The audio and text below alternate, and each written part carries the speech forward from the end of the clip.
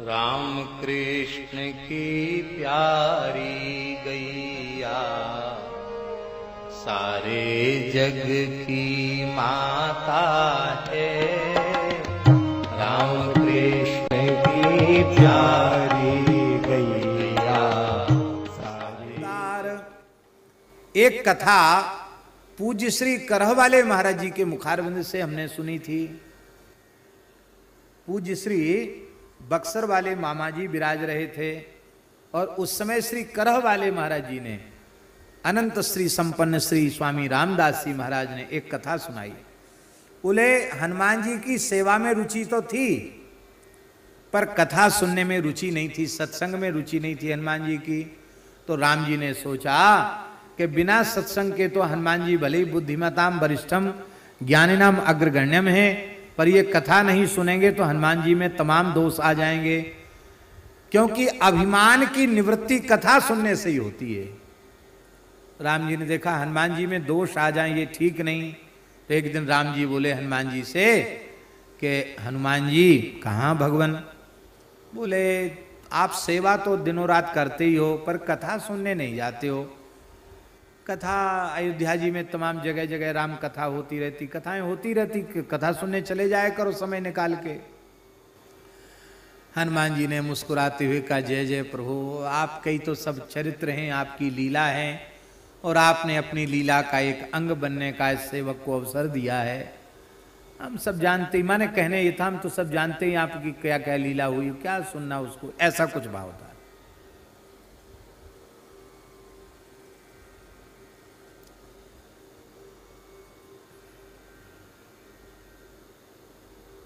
फिर भी राम जी ने कहा, देखो हनुमान जी, बात तो सही है, पर कथा तो सुननी चाहिए। कथा सुनने से बहुत लाभ होता है।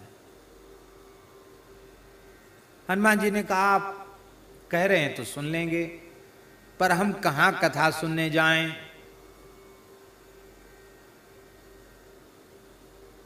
बड़ी समस्या है महाराज जी।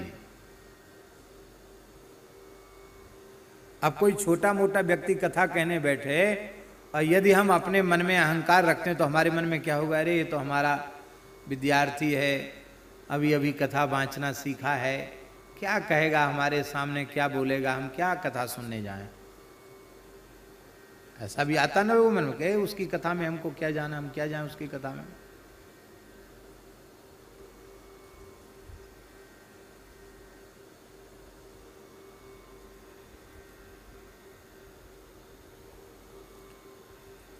हनुमान जी बोले, हम किसकी कथा में जाएँ? कहाँ जाएँ? राम जी बोले, नीलगिरी पर्वत पर चले जाओ। कागभूषुंडी जी महाराज रोज कथा कहते हैं। वहाँ कथा सुनो। हाँ ये आपने ठीक कहा। वहाँ चले जाएँ, कथा सुनने मैंने सामान्य व्यास क्या सुनाएगा? वहाँ चले जाएँगे हनुमान जी चले गए वहाँ। कागभूषुंडी जी कथा कह रहे थे। उस दिन सौभाग्य से लंका दहन का प्रसंग था। तो कागभूषुंडी जी ने कथा सुनाई। बोले, जैसे ही जामवंत जी महाराज ने हनुमान जी से कहा, राम जी के कार्य के लिए तुम्हारा अवतार हुआ है, तुम चुप क्यों बैठे हो? पराक्रम करो, विक्रमस्व महावाहो विक्रम करो विक्रम करो। हनुमान जी विराट हो गए। एक डग में उन्होंने समुद्र को पार कर लिया। उड़े नहीं, छलांग नहीं लगाई। इधर खड़े थे और एक चरण उधर रखा, समुद्र पार कर गए। भीतर वहाँ पहुँचे लंका में। माता जी के पास गए, विभीषण जी से मिले, फिर माता जी से मिले, जानकी जी से मिले। जानकी जी से मिले, सब संवाद हुआ। इसके बाद उन्होंने देखा, ये बड़े उपद्रवी तत्व हैं, ये सब, इनको दंड देना चाहिए। तो हनुमान जी ने ऐसे अपने मुँह से फूंक मारी और उनके मुँह से आग निकली, पूरी लंका जल गई। फिर जानकी जी की सुध लेके, संवाद करके, चूड़ामणि लेके, राम जी के पास आ गए। हनुमान जी सुनते तो रहे कथा पर, बड़े उदास हुए कि देखो, वक्ता लोग कितना बढ़ा चढ़ा के बोलते हैं, कितना झूठ बोलते हैं हैं? हम लांघने वाले समुद्र, कैसे हमने छलांग लगाई, हैं? बीच में कौन कौन मिला, फिर कैसे मसक समान रूप कप धरी, फिर कहाँ कहाँ घूमे, फिर जुगत विभीषण सकल सुनाई। बड़ी मुश्किल से जानकी जी का दर्शन हुआ, फिर हमारी पूंछ में लत्ता लपेटे गए घी तेल लगाया गया, कपूर लगाया गया तो फिर आग लगाई गई। तो ये क्या कह रहे हैं कि फूंक मार के लंका जला दी? एकदम झूठ बोल रहे हैं। पर कुछ बोले नहीं। वहाँ से आए राम जी के पास। राम जी से, राम जी ने कहा, कहो, हनुमान जी, कथा सुनाए? बोले हाँ कथा तो सुने आए महाराज। कहाँ आपने कहा था तो चले गए। तो अच्छी लगी कथा महाराज। कथाएँ तो बहुत अच्छी होती हैं। आपका चरित्र अच्छा ना हो, ये कैसे संभव है? बहुत अच्छी कथा होती है आपकी।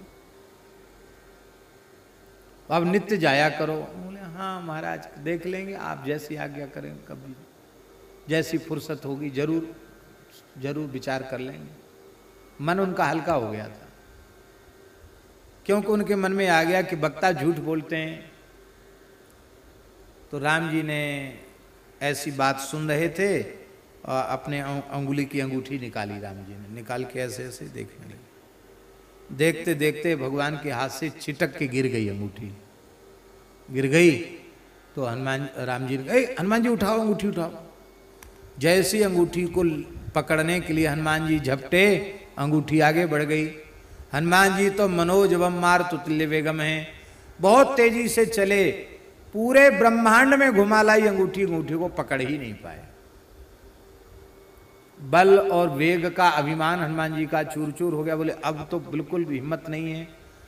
तब तक वो अंगूठी महाराज पूरे ब्रह्मांड का चक्कर लगाकर और हनुमान जी को लगवाकर सुमेरु पर्वत की एक कंदरा में प्रविष्ट हो गई। हनुमान जी बोले, हम तो अंगूठी लाने का आदेश है, हम तो जाएँगे। कंदरा में जैसी प्रवेश करने लगे तो एक विशाल काय बानर कंदरा के गुफा के द्वार पर खड़ा था। मणियों से जटित आभूषण थे, लाल लंगोटा कसे हुए। हे, बंदर, कहाँ जा रहा है? हम क्यों खड़े, किस लिए खड़े हैं? हमसे पूछना चाहिए। हनुमान जी ने कहे, क्या बोलता है? हमको पहचानता नहीं है। कौन हो तुम? मैं वही हनुमान नाम का बानर हूँ जिन्होंने समुद्र को लांग लिया था, लंका जला दी। मैं राम जी का सेवक हूँ। यह सुनती वो बानर बड़ी ज़ोर से ठहाका लगा के हंसा। अरे बोले बा, झूठ बोलते में, बोलने में नेक भी लाज नहीं आती? इतना निर्बल, कमज़ोर बानर अपने को हनुमान बता रहा है। आश्चर्य झूठ की भी कोई सीमा होती है। मैं तेरे बहकावे में आने वाला नहीं हूँ। तू हनुमान नहीं हो सकता। श्री हनुमान जी महाराज तो भीतर विराजमान है। हनुमान जी बड़े आश्चर्य में पड़े कि मैं हनुमान जी, दूसरे हनुमान जी कहाँ से आ गए? तो हनुमान जी बोले कि अच्छा ठीक है, आप हमें हनुमान मानो या न मानो, पर हमको हनुमान जी का दर्शन तो करा दो, बोले, हम पूछ के आवे। बोले, ठीक है, आप यहीं खड़े रहे ना बोले, यहीं खड़े। वो बानर गया भीतर, बोले, महाराज, ऐसे एक बानर कहता, हम हनुमान हैं, आपका दर्शन करना चाहते हैं। बोले हाँ वो हनुमान जी ही हैं, तुमने उनका अपमान तो नहीं कर दिया? महाराज, मैंने तो अपमान कर दिया। हम तो आपको ही हनुमान जी समझते अरे नहीं, कल्प कल्प प्रति प्रभु अवतरे ही, चारु चरित नाना विधि करे ही। प्रत्येक कल्प में प्रभु का अवतार होता है। जब जब भगवान प्रकट होते हैं, हनुमान जी सेवा में आते हैं। इस कल्प में जो राम अवतार हुआ, उस कल्प के हनुमान जी तो यही हैं जाओ उनको प्रणाम करके क्षमा मांगो, बड़े आदर पूर्वक उनको लेके आओ।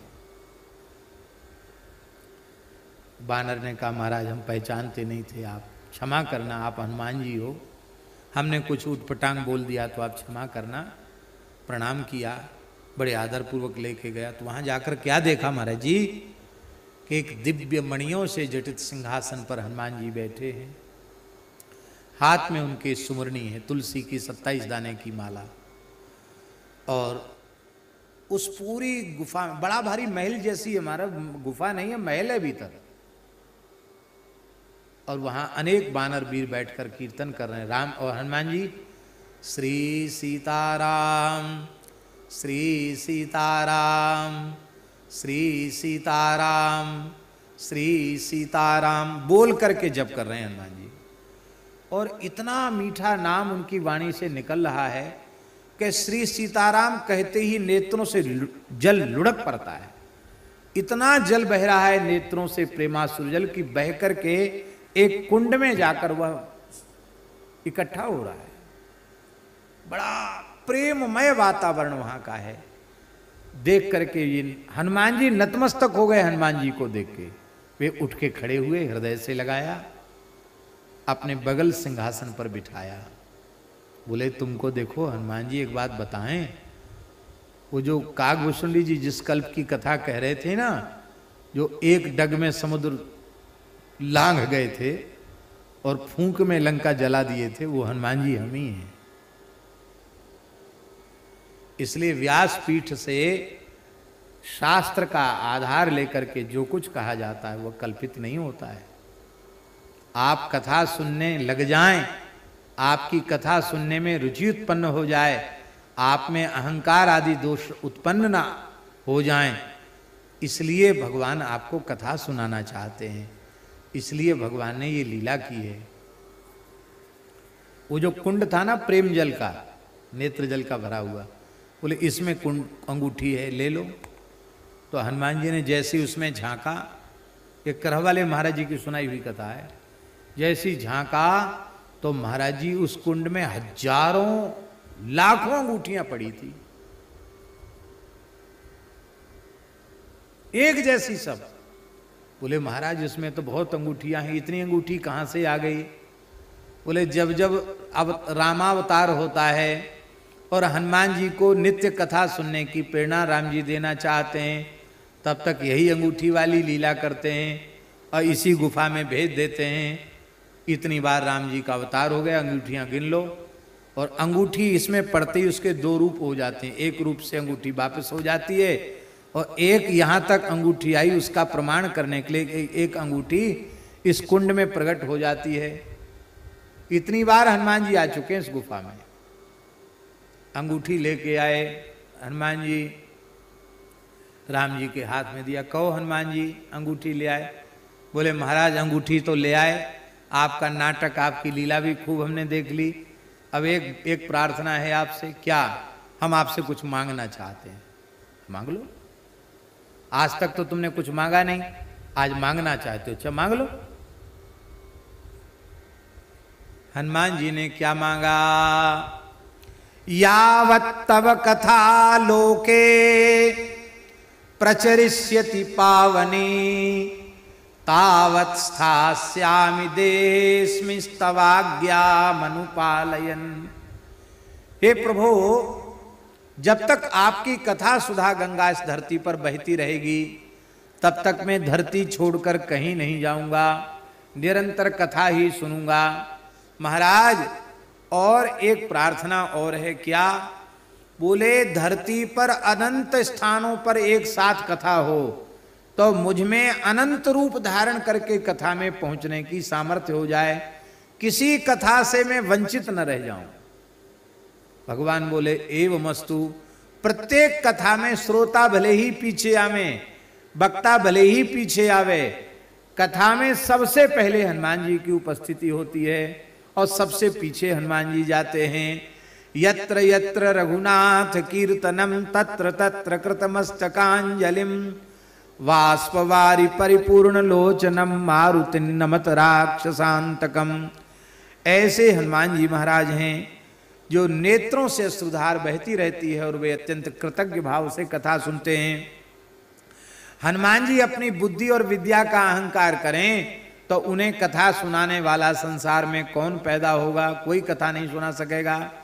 हमारे पूज्य गुरुदेव भक्तमाली जी महाराज कहते थे कि विज्ञ व्यक्ति को भी अज्ञ बनकर कथा सुननी चाहिए।